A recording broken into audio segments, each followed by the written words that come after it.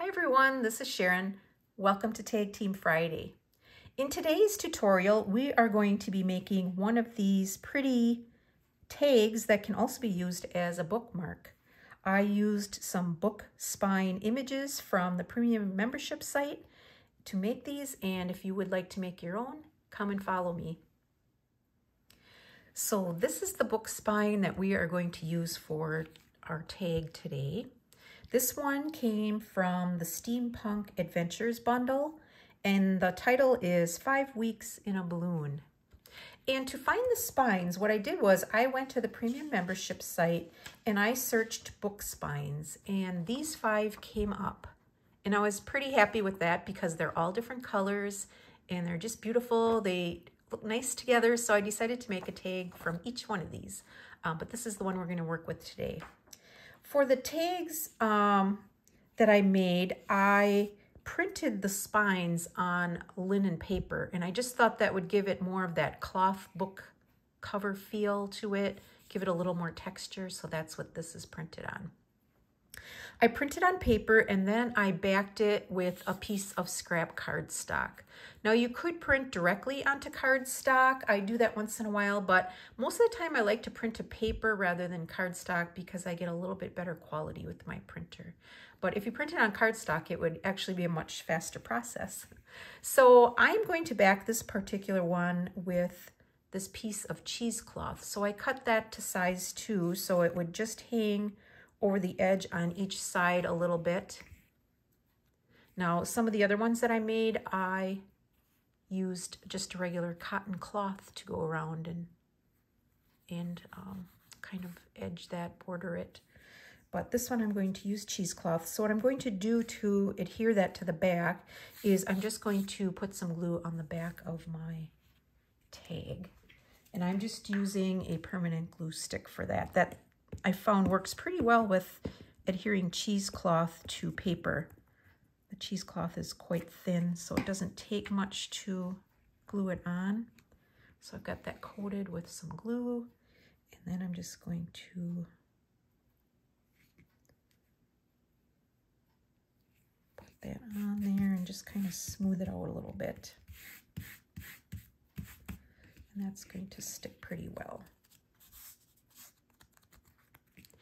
And then what I thought I would do for the back of this one, my intention was to stamp the cheesecloth with a flower stamp like I did on this one.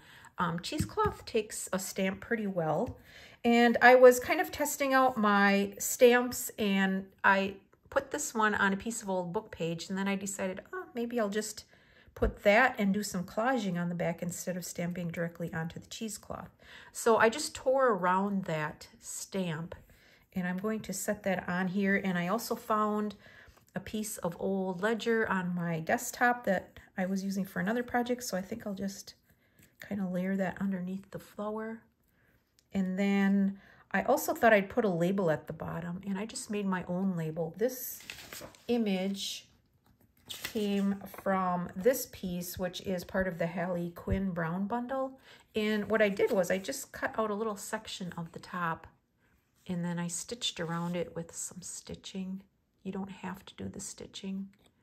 Um, and then I will glue that on there. Now, before I glue all these down, what I thought I would do is also do a little top stitching around my spine and that will just finish it off a little bit. So I'm going to go do that and I'll be right back. Okay, I've got my tag stitched all the way around. I don't know if you can see that, but I like the way it looks and it just finishes it off a little bit. Not necessary, of course. Um, so now we are going to do our collage on the back of the tag. So I'm going to put my um, ledger book piece down first. And I had that kind of over in this. Maybe up in there somewhere. And then I'm going to add, I'm using art glitter glue for this.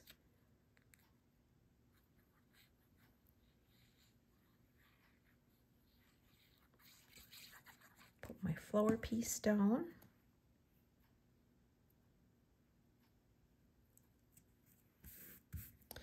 And I mean, you could really experiment with just about anything on the backs of your tags.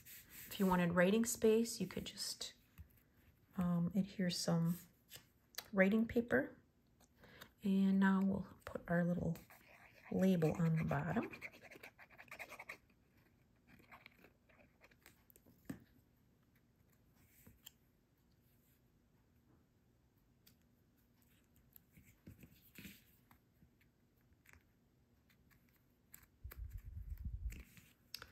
Okay, so that's the back of our bookmark tag.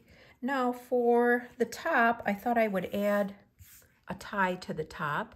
So I'm going to um, set an eyelet and I'll show you some other options at the end of the video if you don't want to set an eyelet. I'm using one of these little brass ones.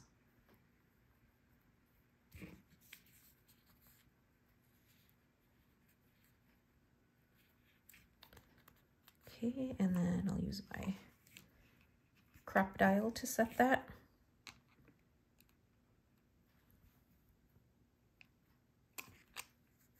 Okay, and now I will insert a ribbon into that hole and I just pulled this really dark kind of an army green color one. I thought that would go well with the burnt orange. And I'm just going to thread that through. And then just tie a knot at the top.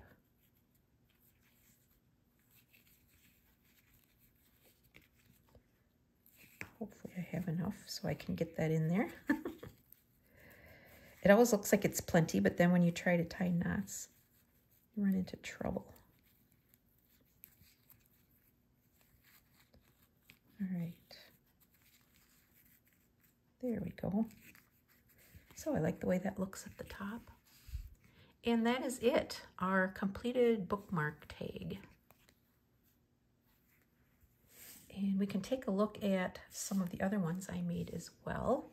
So this is the red one, and I put an eyelet in the top of this one and some twine.